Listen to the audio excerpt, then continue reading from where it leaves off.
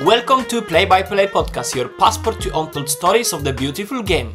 My name is Patrick Bergman. And my name is Ahmed Aram. This is where we're going to tell you about all the untold stories of the beautiful game inside the football and outside the football plays abroad and within the UK, within the game and outside the game, including business.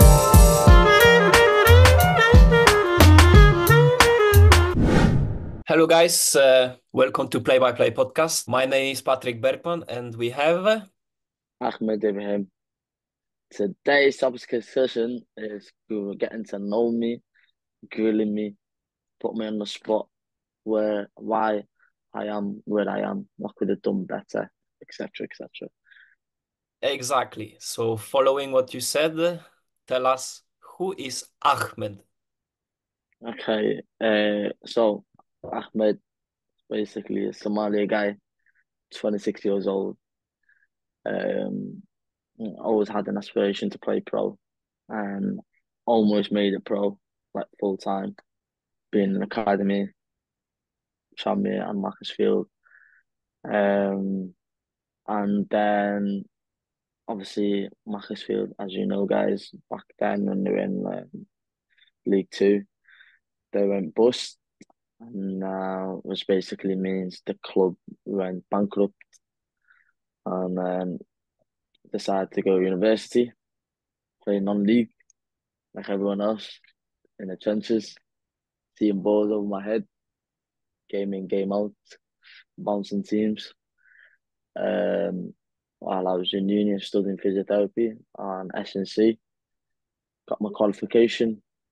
Um, I tried playing abroad as well. Like abroad to Spain, um, trials for Finland, trials for um, Bosnia, them type of countries. Um, and now we're here, man. I've got my own personal business, Mumbai Elite. I do a lot of physio, helping academy guys, guys like you guys trying to aspire to be pro. And uh, yeah, we have this podcast, Play by Play podcast, co host with your boy, Patrick Bergman. I will just add that you are based in Liverpool, in England. But uh-huh. how did you came to England? What's your story? Are you originally from England? Well, well do you want to know the uh, the the story we tell to the government or the real story? The real, the the rough one, the one with the boat. Um. So yeah. Um. So grew up in obviously born in Somalia and uh, moved to Middle East. Uh, lived in like Saudi, different countries and different cities in Saudi. Um, while we were in Saudi, we were still we were visiting Bahrain, we were visiting different countries as well. And then um, we moved back to Africa. Um, because obviously we couldn't stay in Saudi anymore and then um, my dad had a business in the UK. He's like, yeah, go back to Africa. We'll, uh, I'll try and bring you guys back to the UK. Um, and then basically what happened, we stayed in Africa thinking we're gonna stay there for a few weeks, but guess how long we stayed there, bro? Mm. Nine months. Oh, uh, I was more or less out of school for ages. Um, we were basically living in the jungle. I swear to God. And then obviously, you know, the waterfall story. Mm. mm. And then obviously, um, there's so many stories in Africa. Um, and I came here when I was like nine, ten. Obviously, speaking a little English. And then um, that's when I discovered football at such a late age. Um, in school. Um, I've always been athletic. I've always been quick. I've always been fit. So I'm thinking just kick a ball and run. Um, but yeah, that's where my love of the game started. Um, because our, our school kept winning, winning um, the national. Um, our school kept winning the like the city competition. Like we we won so many tournaments in the city. And my first coach He was a Liverpool legend. Howard Gayle, first black player to ever let represent and play for Liverpool. So Howard Gayle was my first ever coach, like football coach ever. Um, and yeah, he hated me. I'm not gonna lie. Hmm. He's like, "You're bad, you're rubbish, man." He was like my first Coach Carter experience. Um, but me and him always we always had like tough love relationship, and um, we're still we're still cool and that when I see him in the streets. Um, but yeah, that's how it all started. And uh, why did you stick to football? Why uh, are you playing it? What's your reason behind? Um, because my life has been so hectic and chaos. Um, obviously, like changing countries. One minute you're thinking you're staying, one minute you think you're going. Um, football is the only thing that made me feel welcome, does that make sense? Mm, It made me feel at home, does that make sense? It made me feel like the more I give to it, the more I get back sometimes, do you know what I mean? In terms mm, of enjoyment, in terms of effort, in terms of like, and we were, we were just winning tournaments, but I've never had that like feeling from my childhood, like up until I was 10, and we were winning tournament, tournament, and that, that's the first place where I felt I felt wanted and appreciated, if that makes sense. mm, yeah. This, despite the tough love, despite I still seen the rewards and the efforts of my hard work, I didn't see it anywhere else. Do you get what I'm trying to say? Mm, yeah. Um, and I don't. I, I looking back, I understand like what why my family did what they did. Do you know what I mean? I understand it, but there's certain elements where I didn't. I felt neglected. If that makes sense. Mm, But I felt like football filled up that gap that I needed. If that makes sense. yeah. There Um. is uh, there is like one one thing that I always say to people is that if you do good in football, it reflects on your life. And that's that's like in one way addicting, but on the other hand, it's uh, it's it's like football is your guiding hand, just walks you through the Mm, life. mm, it's like my lighthouse. That's how. That's how I look at it. Um. Because if I, for example, Um, like you said to me, Patrick, this week, oh, you sound so sick. Blah. Like yesterday, I had a trial game and I didn't play the best, to be honest. We like we won. I created one. I got one assist, but generally speaking, I had one of the worst games of my life. And I'm like, okay, like you say, football is your life because if you didn't prepare properly, if you didn't rest properly, if you didn't sleep properly, and you're not feeling well, blah blah, you you can't. Do you know what I mean? It gives you like a guidance that this is where you're messing up in life. This is where they, this is why you can't perform optimally in life because in real life you're doing this, this, and this. So like, like it's my reference point in life if that makes sense. So Mm, that's why like if I, I feel like if I didn't have that or that's why it's so important, guys, to like have something where you're getting. I call it G check.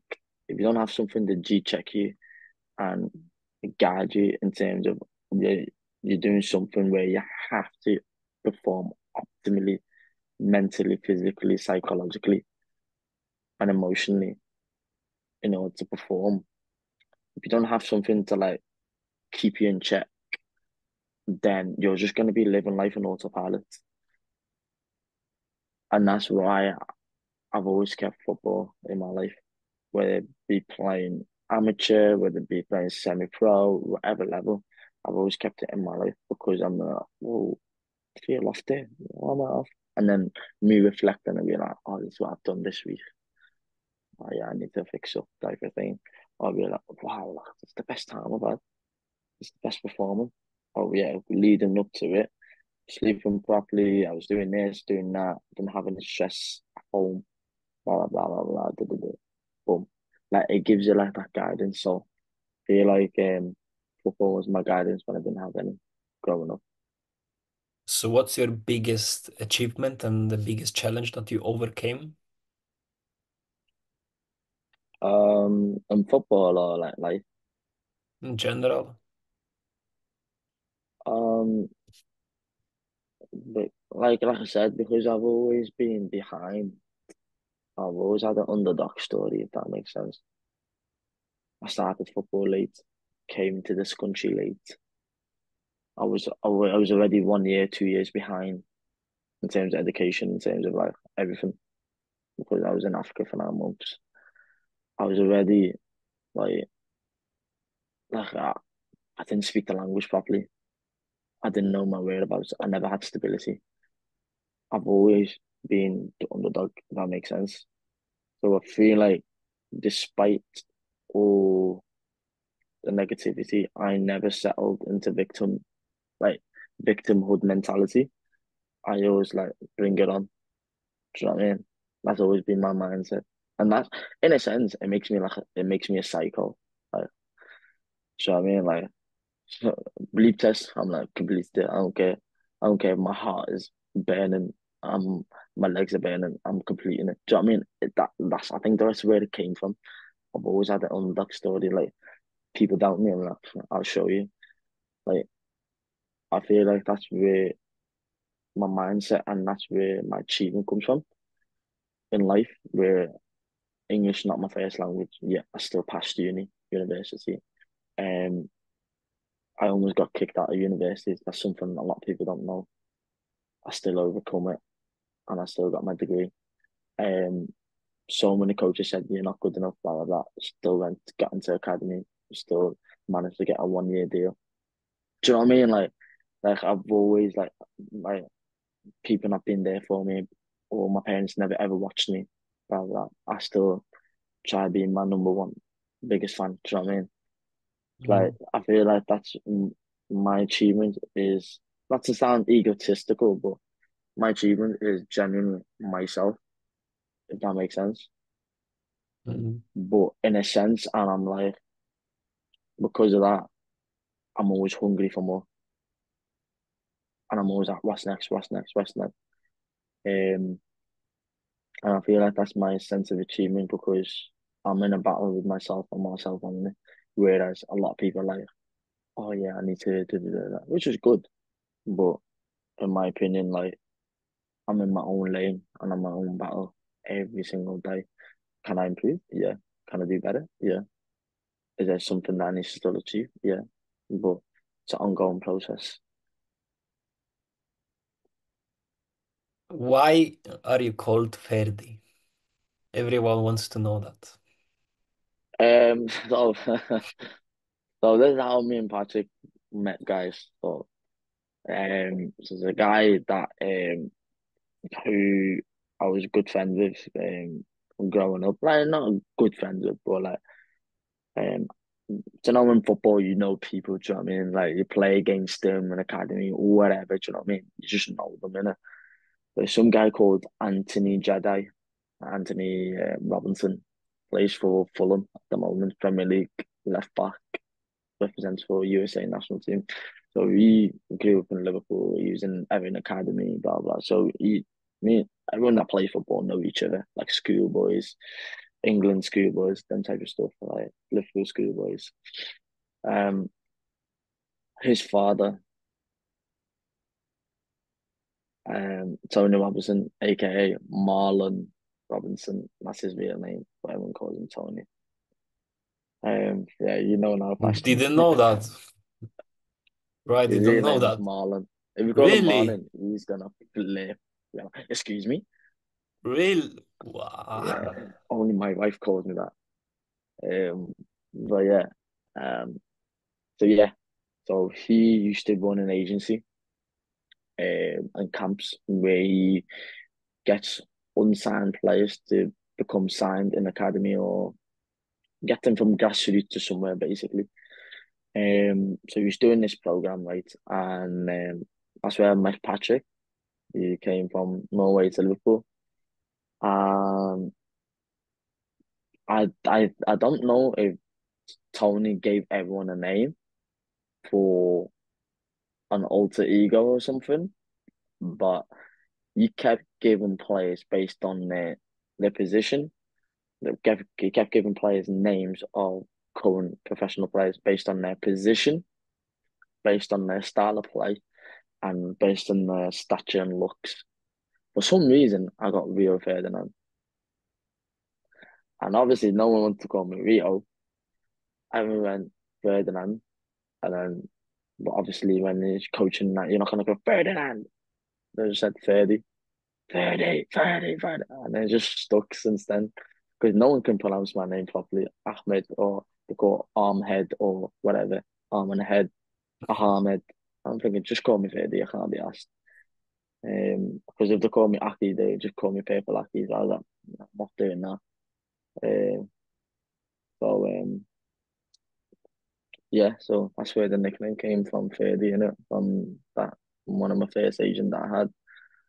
Um, and yeah, and then for some reason, Patrick, you stuck with it, and then you ran with it. So now everyone calls me Ferdy. Yeah, I'm even like his promoter. I'm promoting his his nickname.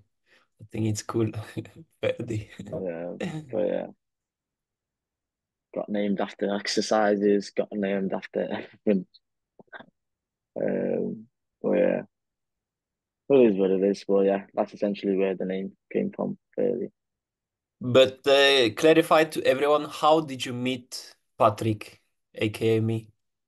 What's your story? So, so I've known Tony for like since I was what 15, 16. I met Patrick, yeah, 19. 1920. Maybe, yeah. Yeah, 1920. I think that's when I met you. Pre-COVID. Pre-COVID, yeah. 2021. Okay. Mm. 2019, um, no. 2019. 2019? 2018. Yeah, pre-COVID. 2018. I think summer of 2018. Okay. Okay. Um, that's when I've met you. You came in one of the camps and you came like this, bro. Big timer. He came in like this, bro. Six foot six, but no kid in the world, bro. Yeah. Short, nice and short. Top, nice and tight. Yeah, I'm thinking the only thing this guy is missing is a fat earring. That's the only thing he was missing that day, bro. He's shining. Fucking this guy. Man's playing man's doing stuff always playing it. And I'm thinking, who the hell is this guy? Who, who does he think he is? And then all the lads didn't like it because Scousers, they don't like that stuff, in it. Mm. They like um posh boys. I don't know, like they like rough, ah, don't like posh yeah. boys. Yeah, okay. you came across rough. posh boy. Okay. Yeah? yeah. You came like a as a like a we call it snobby. Snobby. You came across snobby, you know, oh, you peasant. That's how you came across, right? Yeah. Mm and then you hated it because people were going in tackles rough with you. Um, and then you was like, yo, uh, to me and doing because you thought me and doing based on looks, I've I'm one of the best players. That's what you said to to me in terms of like like physique, in terms of like athleticism, blah blah. You came towards us. You're like, yo, my name is Patrick. Is that what your nick, nick, nickname you're gonna get given? He's like, you know. And then he got given Van Dijk. I was like, oh, Van Dijk now, yeah.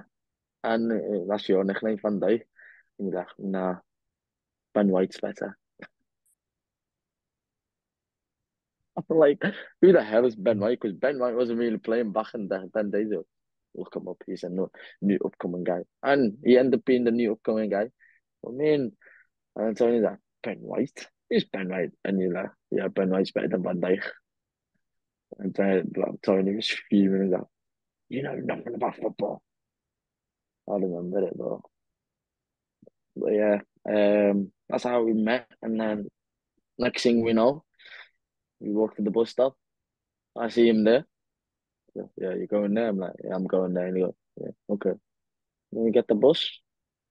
And next thing you know, that's the rest is history. And I realized you live in Wavertree, next to me. Mm. And then that's just history, bro.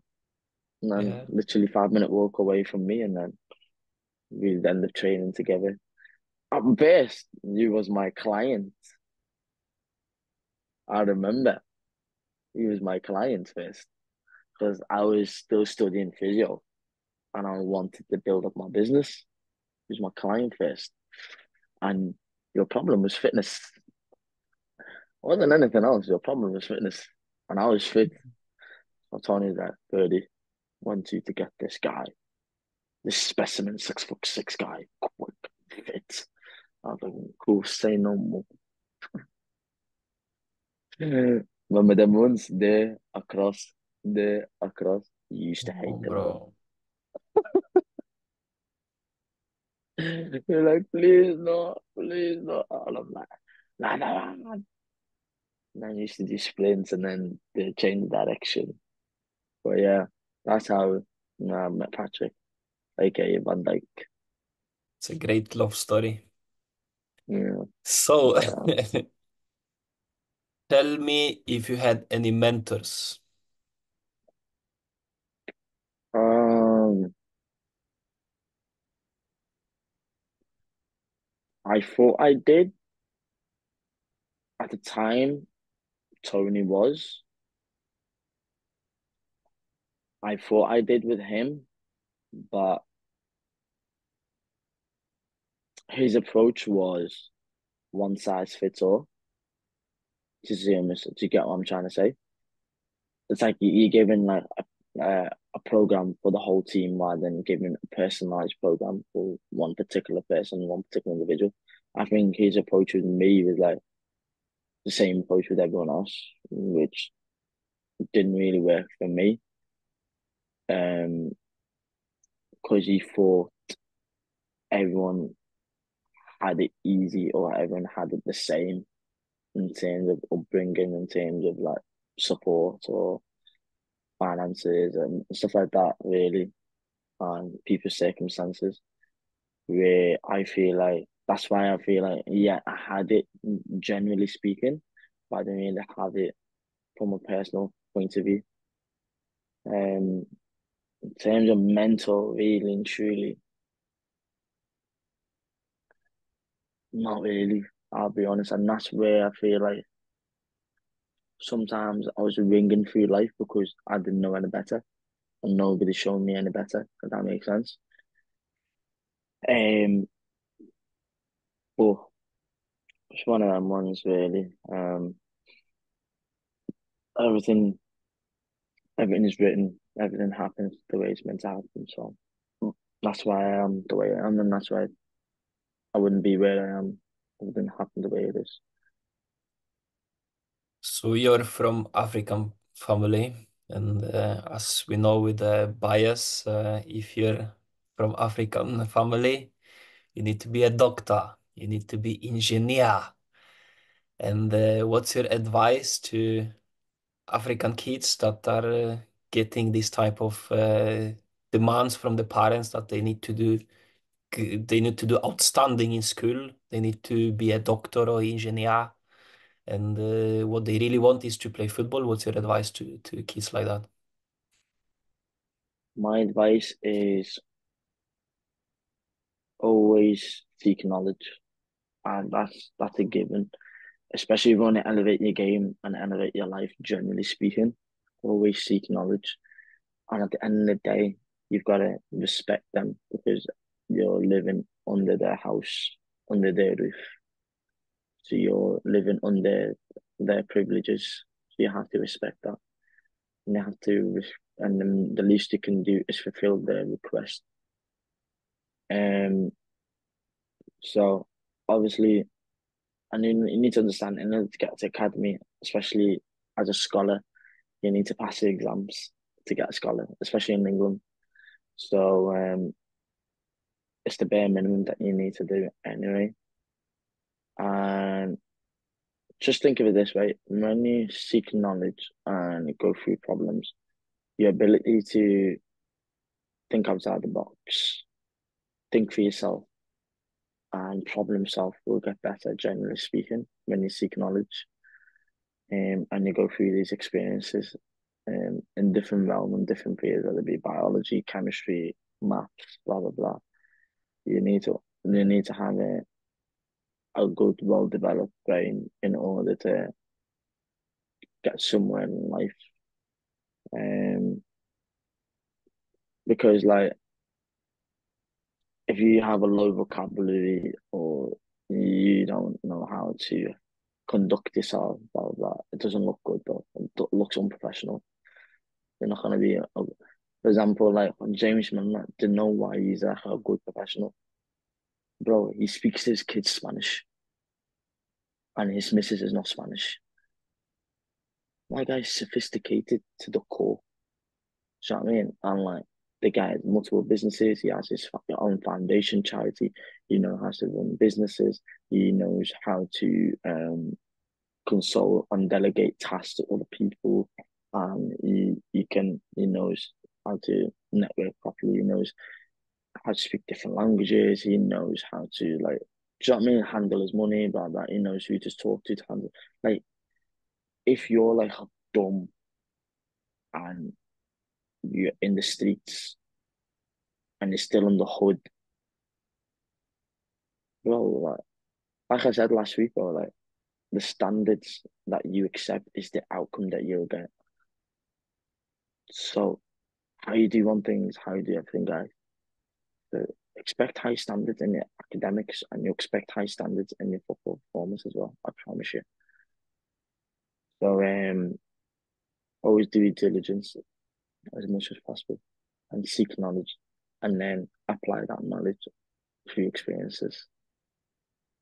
Yeah, there is a quote from Da Vinci that uh, to com to acquire a complete mind, you need to study the art of science and science of art. So, like, essentially, you, you want to be the full package. You don't want to just have, I don't know, speak one language, go to the gym, but only do bodybuilding without trying other stuff like plyometrics. So, Mm. like, uh, you need to you need to try different stuff and become uh, multi-directional as well. Eh, Okay, next question is uh, where did you get your knowledge from? Why are you so wise? Um, I was forced to get knowledge because I've never had any help. Does that make sense? Um, which in itself was a blessing and a curse. Blessing in a way, I do everything independently. Curse because it being growing up, I never asked for help. Um, and that's and then many don't ask for help. You don't see a side of you where you you know you don't see a side of you where it has a big gap in your development or has a big gap in your um, development. Do you know what I mean? Like um an improvement. So if I I feel like if I seek for help or had that guidance, people would have told me, oh by the way, when you do this or that, and then I would have been like, oh I didn't know that. Do you know what I mean? Um but because I didn't know any better or if anything, I didn't I didn't know who to go to. Um so I feel like that's where um I had no choice but to constantly seek knowledge by myself um, for myself. It sounds sad, like, but you know, every everyone was, everyone just watches Netflix, YouTube, like, you know what I mean? I was just watching and reading. Like when people watch YouTube to cover comedy, I just watch overtime athletes. I watch, um, do you know what I mean? I just study the game and then I'm planning and then like my boys were saying this to me, like Ahmed goes to Ahmed goes to his bed and dreams of plyometrics. I mean, like Ahmed the, that has um, vivid dreams of putting cones down and drills, and I'm like, yeah, but that's what gets me going. Do you know what I mean? Um, but like, it, it, I've done, I've been doing this since I was like 13, 14. It's been ingrained in my life. I'm always like, oh yeah, how can I improve this? How can I do this? How can I do that? Da, da, da, I improve this? What supplements? How to this? What supplements? Oh yeah, this supplement helps with avoiding getting sick. Oh, oh yeah, this, this, and this. Oh yeah, how can I reverse cancer? How can I do this? How can I do that? Oh yeah, I was just looking things like even if it didn't apply to me, I was just learning and looking things because I didn't want to feel like insufficient because that's all I've ever felt like all my life. Because I didn't feel like I was good enough to anyone all my life, whether it be family or whether it be coaches saying you're not good enough or whether like me being a secondary citizen in this country because I'm always a foreigner. Do you know what I mean? Like I've always been in, insufficient to other people. So I'm gonna forget that, let me be sufficient for myself. Do you get what I'm trying to say? That's where the drive and the purpose came from. And to say what I mean by it, it's a double-ended sword why seeking knowledge. When you over knowledge too much, you don't go, you don't experience life. And that's where my, my problem came from. Um, you'll only elevate as much as your knowledge application. And I feel like that's where I've been stuck the last few years. Been seeking on the seeking on the seeking knowledge. Coaches, S&C coaches, the physios, the managers are like, wow, you're the fittest I've ever seen. You're the most, you're, you're, the, you're so quick. You're like a championship speed type of thing. Blah, blah, blah. You're at this level. You're smashing numbers. I'm training with like, mean? With like Kevin Kelleher, the goalkeeper for Liverpool. I'm training with these men in the gym and not like Martin Kelly. I'm training with these men, you know what I mean? I'm investing in myself. And I'm saying like, wow, like why am I not at that level football wise though? That's because I don't play enough or I don't experience enough. I don't do this. I'm that far all these knowledges, but I'm not really applying it like you say, oh, you need to look after yourself. You need to rest a bit more. You need to sleep more. Like I'm not applying these knowledges, if that makes sense, because I'm too busy seeking. And I feel like um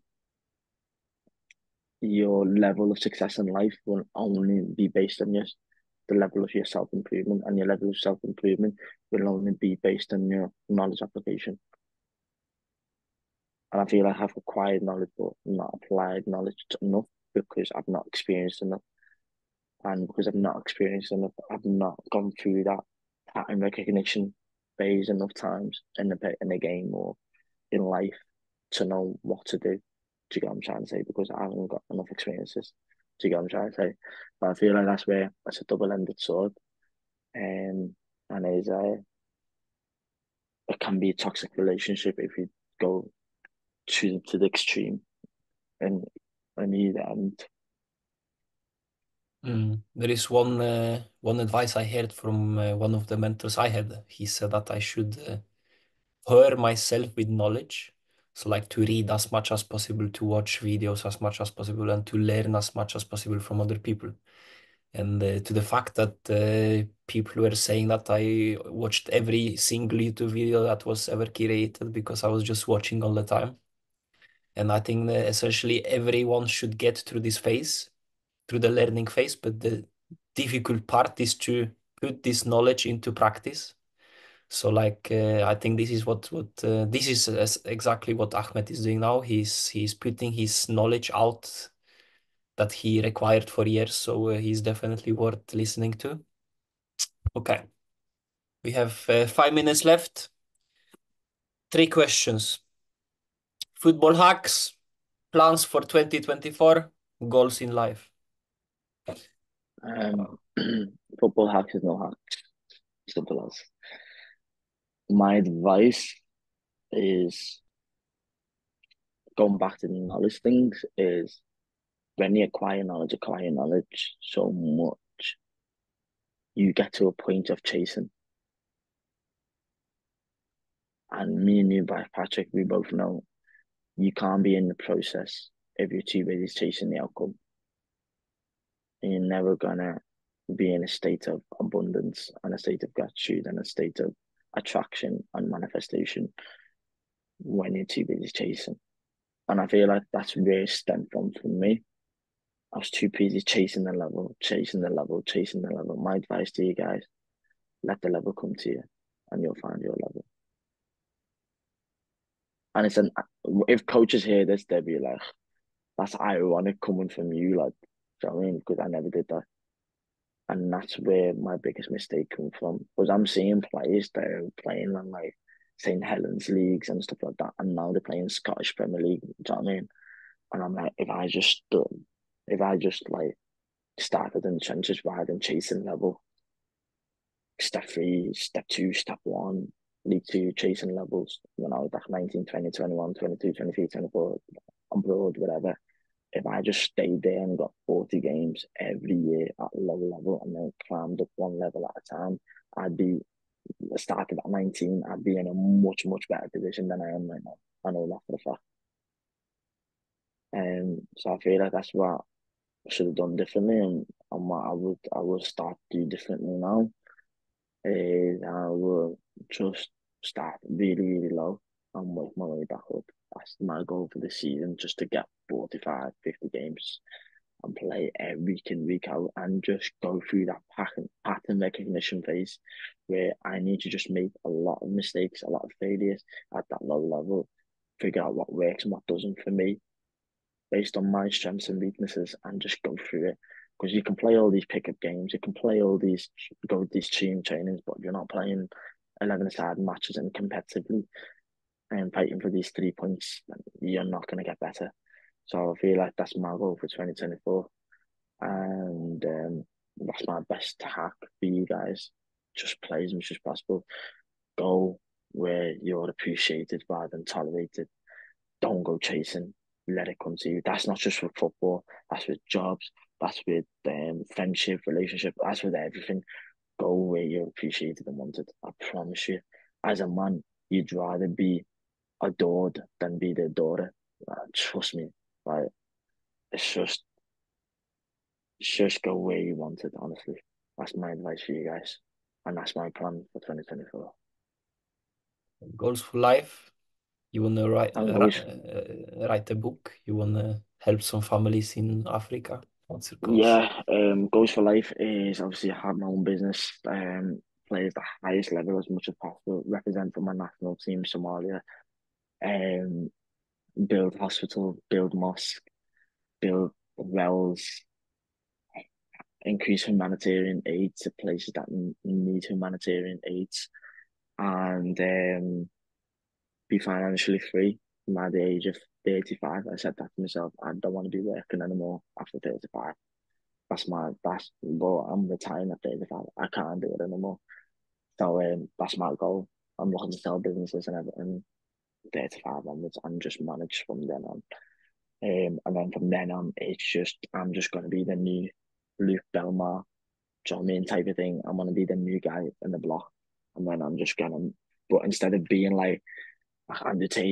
I'm just gonna be more just myself, I mean? Um, and just be me. Because I've never seen a proper guy from a football background, true Muslim. There's there's, there's that, do you know what I mean? I've never seen they're all like a bit messed up, low key, heavy deeper. Um like Luke Remad does ayahuasca and all that type of stuff. He's crazy in that regard. Andrew Tate, don't need to talk about him, everyone knows.